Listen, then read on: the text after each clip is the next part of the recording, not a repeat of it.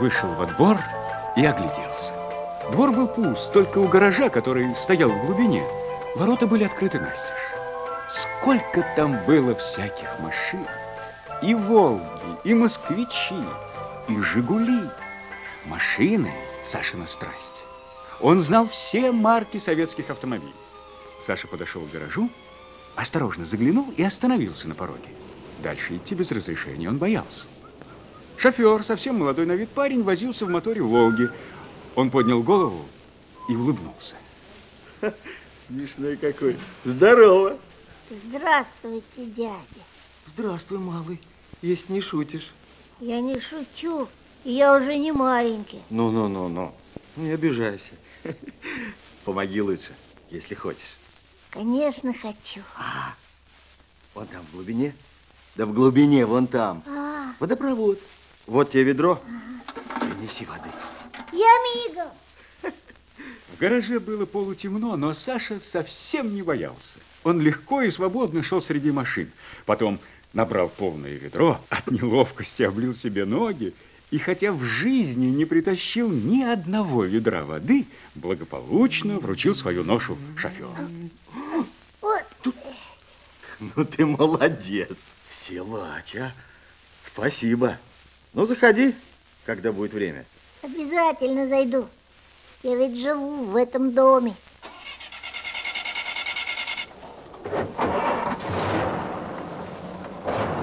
До встречи, помощник.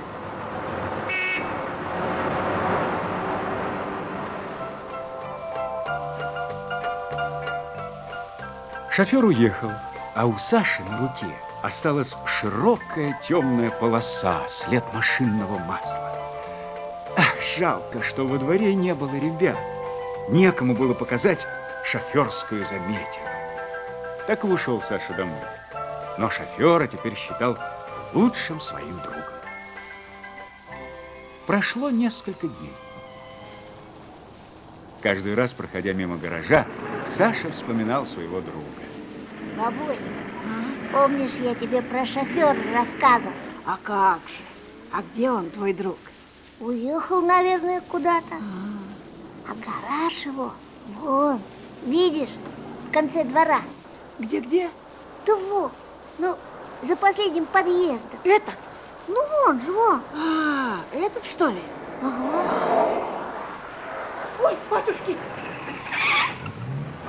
Ты что ты, бабка, куда ты лезешь-то?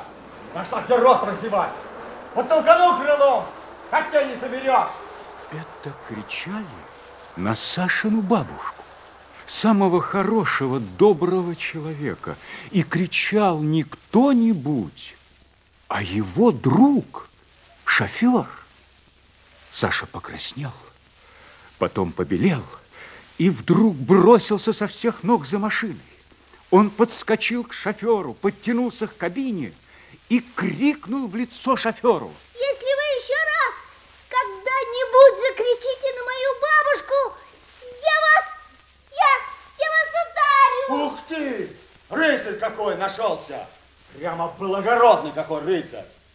Больше он ничего не мог сказать. Может быть, ему было стыдно. До сих пор он часто вот так гремел басом на людей и никогда не задумывался, что обижает их. Он кричал на них и уезжал дальше своей дорогой. А тут впервые ему сказали такие слова. И кто сказал? Маленький мальчик, которого он мог одним щелчком опрокинуть на землю. А Саша стоял перед ним, как дикий зверек, решительный, отчаянный. Он совсем не боялся. И это было с ним впервые. Ну, прости, малый. Виноват я, ну, кругом виноват. И вы, мамаш, простите великодушно. Да ладно, что вы, пустяки какие. Езжайте своей дорогой, езжайте.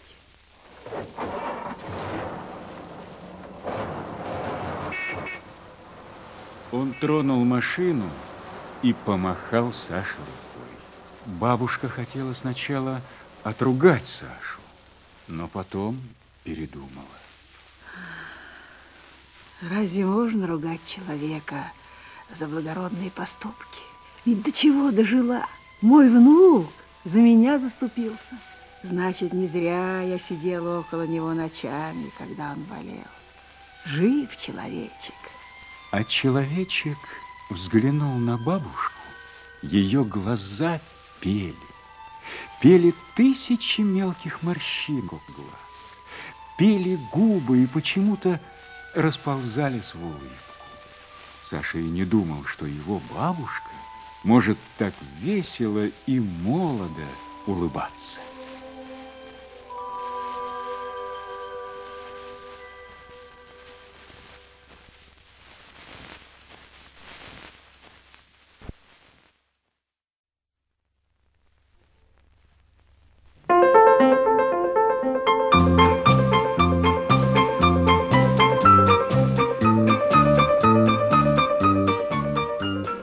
Отправились три брата Пьер, Жан и Жак в дальние края счастья искать, прихватив с собой наследство, которое оставил им отец. Пьер вел на поводке большого черного кота. Жан шагал с петухом,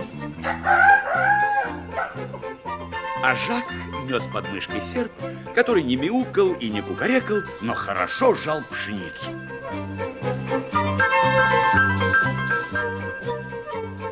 Много дней прошагал старший брат Пьер со своим котом, пока не зашел в неведомое королевство. Ох, умор, а! У королевского дворца людей, видимо-невидимо, и все с палками за мышами гоняются. Ой! Будь ты на нашем месте чужеземец, ты бы так не смеялся. Не знаешь, видно, каково с мышами разбойников воевать. Эй, да мне никакого труда не стоит любую мышь поймать. Глядите-ка, эй, котик, лови их.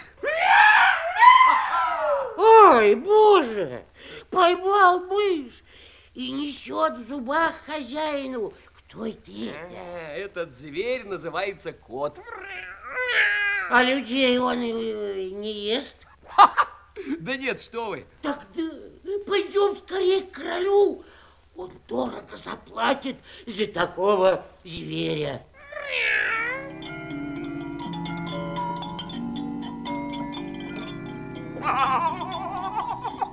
За сколько ты его мне продашь? Нет, Ваше Величество, я не могу с ним расстаться. Ну, но он мне так нравится, что я за него пол королевства не пожалею. Продай. Не могу. А, впрочем, Ага. отдадите мне в жены вашу дочь, тогда и дело решено. И я с котом не расстанусь, и вы его получите. А? Котик, котик.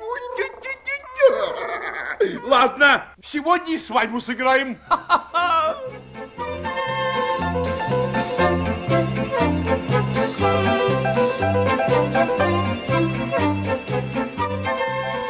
Ну, а Жан, средний брат, шел, шел и тоже пришел в неведомое королевство. И петух, конечно, с ним.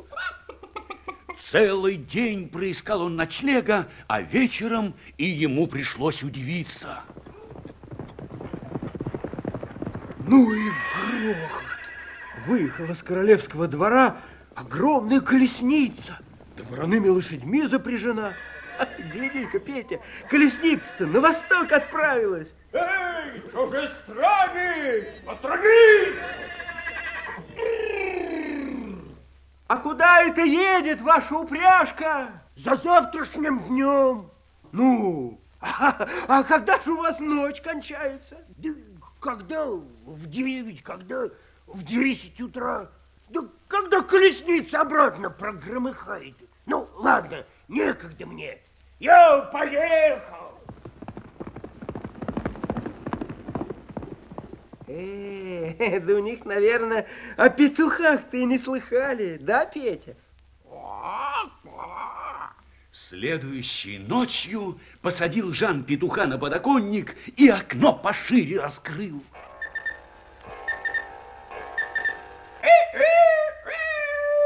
А во дворце переполох. Как же так? В три часа ночи звуки неведомые.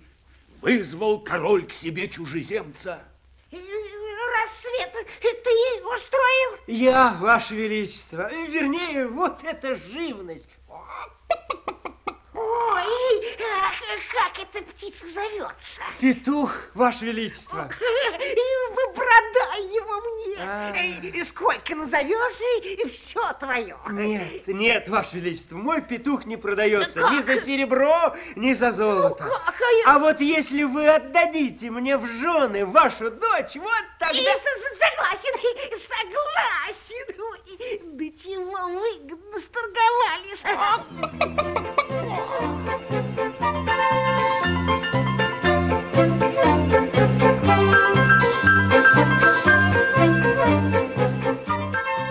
Ну, а младший Жак не раз хотел свой серп выбросить, да все жалко было. И вот пришел он, как и его братья, в чужую страну. Ну и ну, ходят по пшеничному полю крестьяне и зерно с колосьев пшеницы палками сшибают. Эй, давайте покажу, как пшеницу жать. И, как вы уже догадались, узнал и король этой страны про диковину. Продай мне твой серп. А он не продается. Да. А тогда, может, возьмешь в жены мою дочь, а? А то ее никак не выдам, а серп мне. Сташа, согласен. Ура! Сегодня же свадьба.